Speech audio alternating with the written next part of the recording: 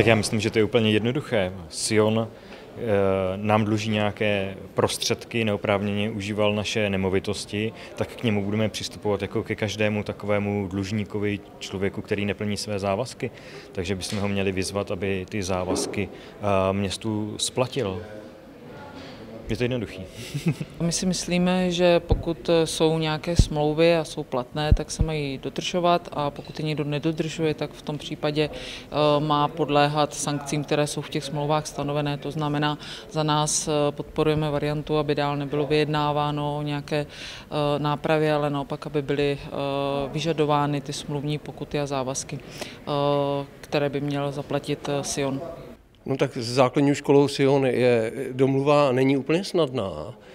A e, jsou tam navrženy jako tři varianty řešení a my se určitě budeme klonit tomu, ať město uplatní všechny své pohledávky a e, taky by bylo fér, aby si on mohl uplatnit svoje požadavky, ale prozatím to, co je tam v těch materiálech, tak se zdá, že nemá dostatečnou úroveň kvalitu vypovídací hodnotu, protože objednávka na nějaké práce bez toho, že není přiložená faktura, tak asi jako úplně nemůže být započtena. Že? A většina těch dokladů má tento charakter. Takže, takže, ale myslím si, že by bylo fér jako započít všechny požadavky a, a po, požadavky města a taky požadavky Sionu. Náš klub podporuje bod číslo 39, eh, variantu číslo 1, a to se jedná o narovnání závazku mezi základní školou Mandisová a základní školou Sion.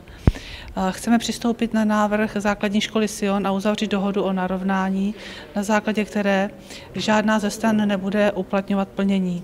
Já osobně si myslím, že je to velice velkorysý návrh pro základní školu Sion, protože neprokázala dosud jednoznačně, jaké náklady vynaložila na rekonstrukci prostor základní škola Mandisova. Eh, my podporujeme eh, třetí variantu, to znamená za Piráty.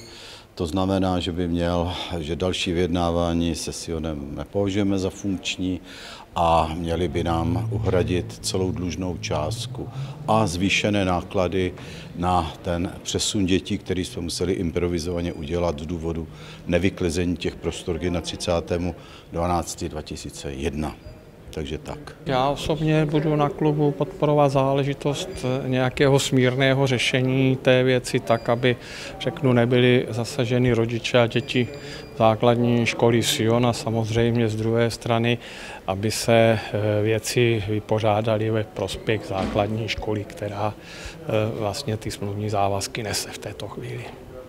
Tak náš klub jednoznačně bude podporovat to, aby došlo k naplnění smluvních vztahů.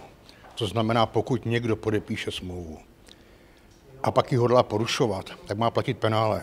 Takže to penále v plný výši, žádný odpuštění.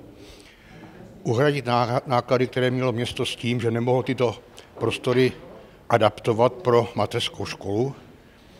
A e, domnívám se, že údajné zhodnocení, které údajně Sion dal do našeho objektu, je už dneska odbydlený a navíc je značně neprůkazný, protože v podstatě celou rekonstrukci dělala zpráva nemovitosti. Takže slušně řečeno, když z nás někdo chce dělat legraci a myslet si, že město si před ním sedne na zadek, tak nesedne a budeme podporovat, aby to si on zaplatil s veškerým dosahem.